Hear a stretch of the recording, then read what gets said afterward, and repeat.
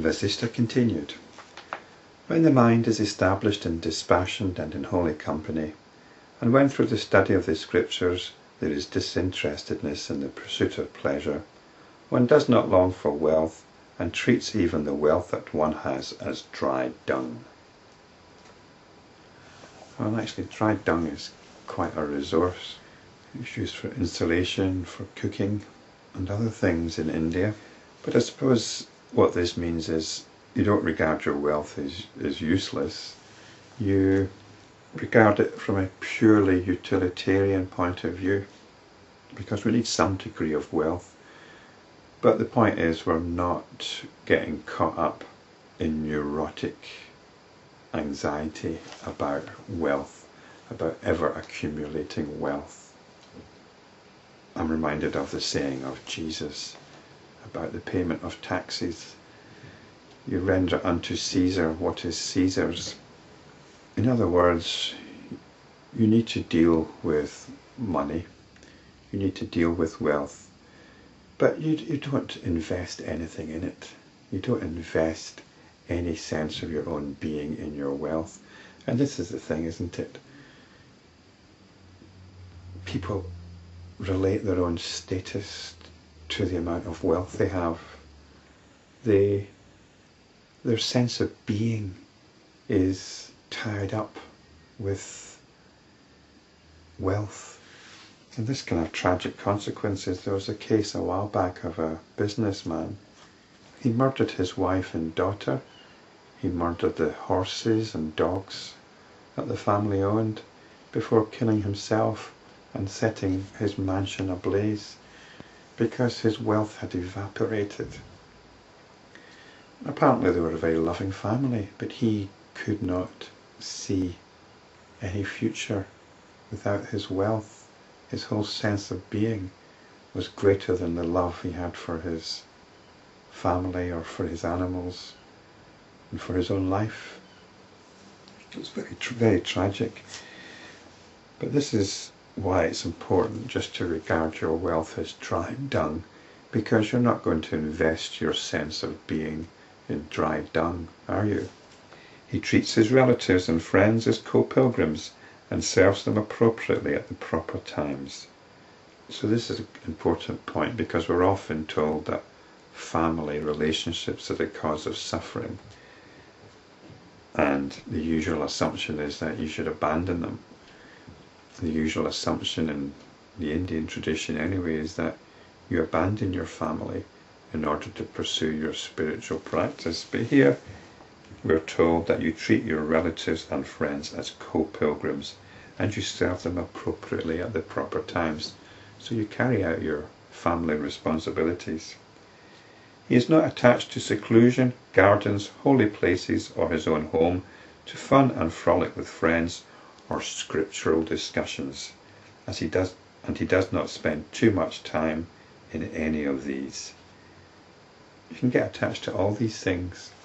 If you're a spiritual seeker, a spiritual practitioner, then you might find it nice to go off and live in some community, a spiritual community. Nothing wrong with this. But are you getting attached to it? Can you not see yourself surviving in any other situation? You need to ask yourself that question. And be careful with scriptural discussions. The whole point of scripture is to remind you of your nature, to turn your attention back on itself. And if you're going to get involved in discussions, well, what's the point of that? You're just going to get into a nice interaction, perhaps a very enjoyable interaction, where the spiritual teachings have been reduced to some kind of social bonding mechanism. This is why you have to be very careful with spiritual groups. It becomes another common interest group. You might as well go to a group, a poetry reading group or chess group or something like that, or badminton or something or salsa class if you want social bonding but to use the script to use the spiritual teachings as a basis for social bonding is really quite inappropriate he rests in the supreme state The supreme state is that which is. Is that which is the supreme state. It's not something that needs to be striven for lifetime after lifetime. The supreme state is that which is. So it's not some rarefied sphere of existence which we have to purify ourselves in order to access. The supreme state is that which is. How about that? Division in it is created by ignorance, and this ignorance is false and non existent. He who is firmly established in the self and who is undisturbed, like a sculptured figure, is not swayed by sense objects. I and the world, time and space, knowledge or void, these, though they may continue to be, are not experienced by the knower of truth. All these things are, are notions. One should salute that son in human form whose personality is devoid of rajas that's restless action or impurity, who has transcended even sattva or purity, and in whom the darkness of ignorance has no place at all. This restless action or impurity is the restless tendencies of the attention, the attention which is always seeking to lose itself in something, or always allowing itself to be hijacked into something. So this one is one who has transcended even purity. There's no attempt being made to be pure.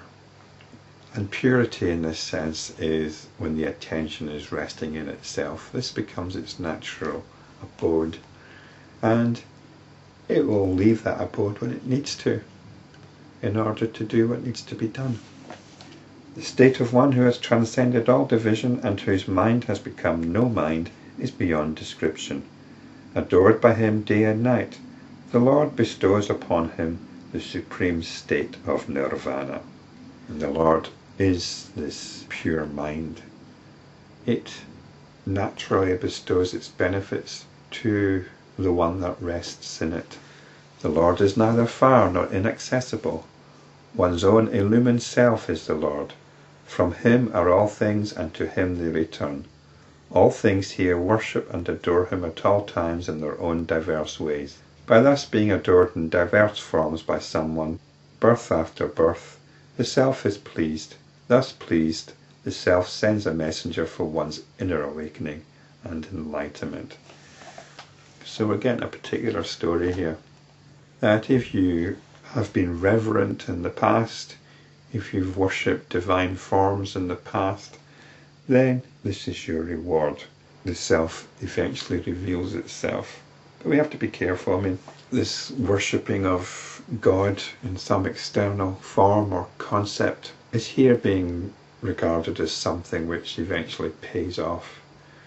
But sometimes it's mentioned in the Yoga Vasishtha that it's worthless.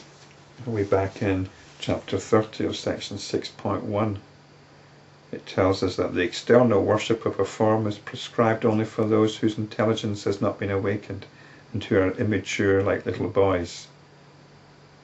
When one does not have self-control, etc., he uses flowers in worship. Such worship is futile, even as adoring the self in an external form is futile. So, that's what it says back then. But here it's saying that eventually you'll wake up the messenger thus sent by the self is viveka or wisdom. It dwells in the cave of one's heart. It is this wisdom that brings about the gradual awakening of one who is conditioned by ignorance. The one that is thus awakened is the inner self, that is the supreme self whose name is Om. I think eventually what happens is there is awakening. We live in a time now where we have access to these wonderful teachings, and there are many people who've realized the essence of these teachings. You can see there are videos online. In some ways, we can see ourselves as living in a time of, of great awakening.